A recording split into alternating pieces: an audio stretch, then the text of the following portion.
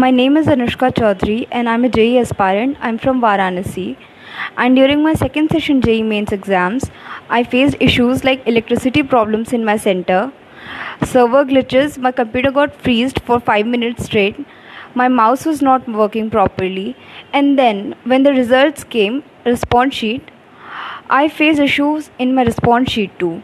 So I want NTA to please consider a third attempt for all of us and it should be a fair chance